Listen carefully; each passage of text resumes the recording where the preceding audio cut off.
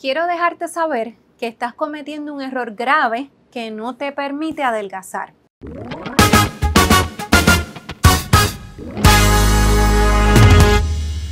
Mi nombre es Iliamar Sánchez, soy consultora en metabolismo certificada de Natural Slim y hoy les quiero compartir una información que yo sé que va a aclarar muchas confusiones y que realmente si estás tratando de hacer tu dieta 3x1, ¿verdad? Que nos habla el especialista Fran Suárez, eh, entiendo que esto va a darte realmente como un boost, un empujón para que puedas hacerla correctamente y pues logres mejores resultados en tu proceso de adelgazar.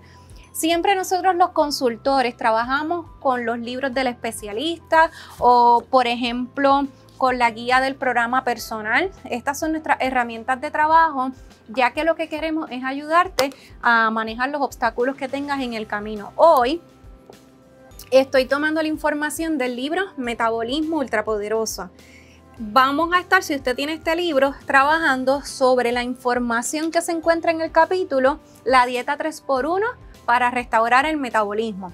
Si usted es la primera vez que nos ve en estos videos, le voy a hablar un poquito de lo que viene siendo la dieta 3x1 y luego, ¿verdad? Pues quedaría de tarea que busque en los mismos videos que tenemos muchos de los temas que hablamos sobre la dieta 3x1 para que la comprenda mejor.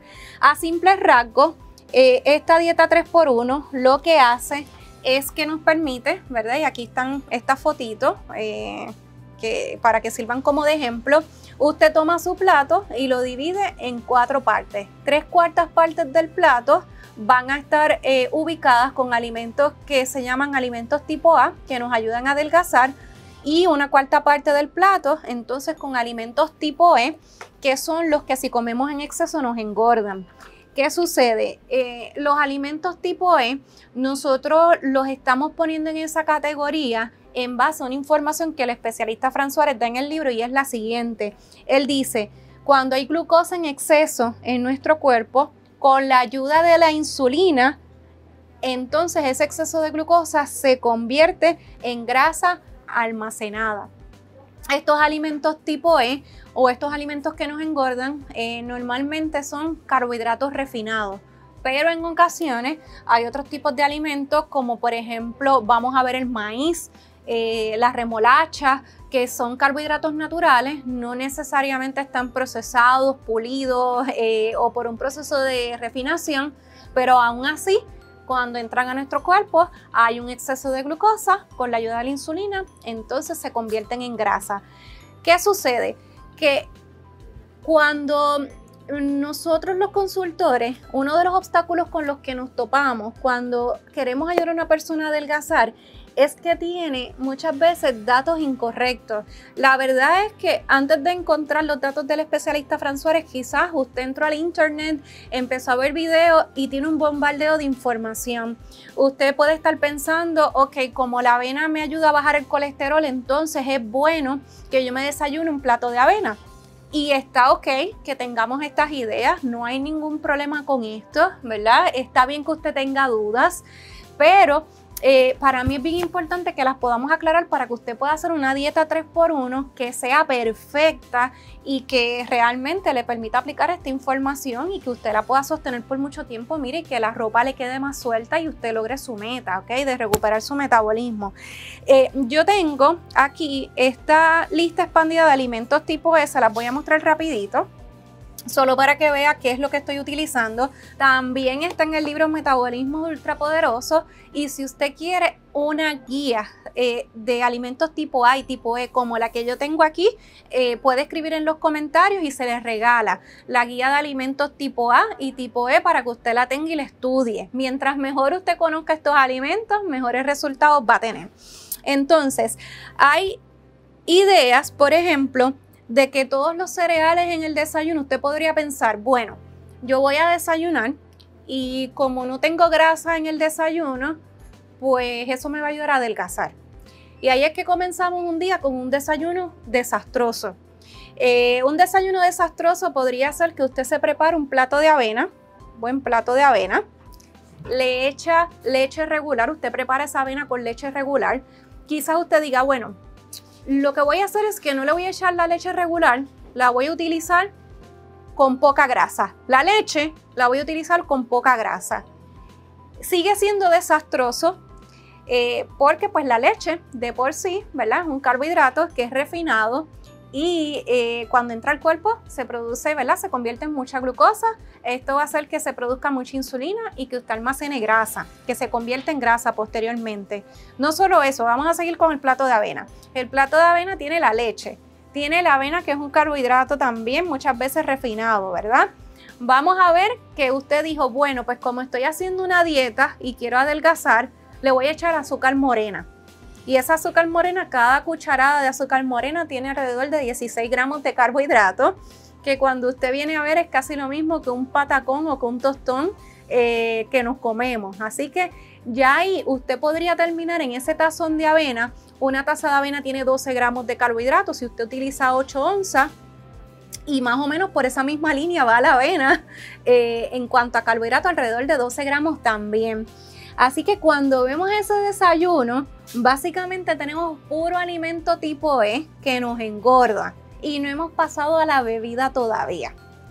Si usted pusiera, por ejemplo, eh, ese, desayuno de avena y viene y le pone un jugo de China también, pues ese jugo de China eh, ya viene con su azúcar natural, pero en ocasiones se le pone azúcar añadida y a veces no estamos pensando con toda esta información. Y si usted ve un plato de avena con un jugo de china natural y unas tostadas en pan integral, mire, usted se puede llevar la idea de que usted está haciendo un desayuno saludable y esto es un error completamente. Vamos a ver que en los alimentos tipo E se encuentran, por ejemplo, también las frutas, que esto es otro error común que se comete. Eh, ciertas frutas como la ciruela seca, yo recuerdo en algún momento, antes de estar eh, trabajando acá en Natural Slim, que yo pensaba que una buena merienda saludable era una cajita de ciruela seca. Y entonces uno pensaría que esto, mire, de hecho, espectacular porque no estoy, no estoy merendando galletitas ni refrescos, estoy comiendo ciruelas. Pues esto es un alimento tipo E. Eh, pasa también, por ejemplo, eh, acá en el libro Metabolismo Ultrapoderoso, usted va a ver eh, va a observar que en las frutas también tenemos, por ejemplo, eh, las uvas, eh, nos caen, ¿verdad? como alimento tipo E. La toronja, el melocotón, la papaya, la piña. Y esto no es para que se me estrese y ahora piense que no puede comer nada, que esa es la siguiente conclusión a la que llegamos. Bueno, pues no puedo comer nada.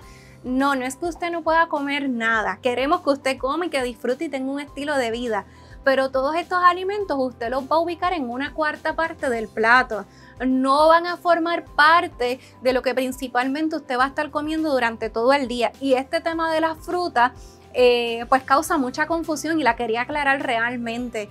Tengo personas, por ejemplo, que empiezan a hacer eh, el sistema Natural Slim y nosotros tenemos una patida de proteína en la mañana porque las proteínas, como usted va a ver en el libro El Poder del Metabolismo, y las grasas son las que despiertan mejor el metabolismo en las mañanas.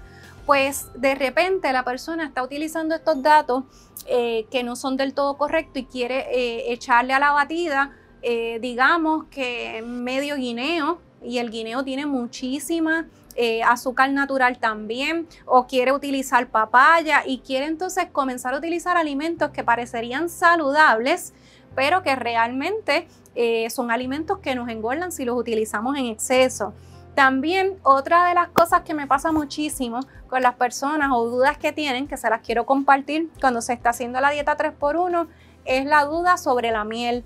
Se pensaría que pues la miel tiene muchos beneficios, lo hemos anunciado por muchas partes, muchos testes se recomienda que se hagan con miel, pero si abusamos, entonces vamos a estar ingiriendo un exceso de alimentos que nos engordan o alimentos tipo E.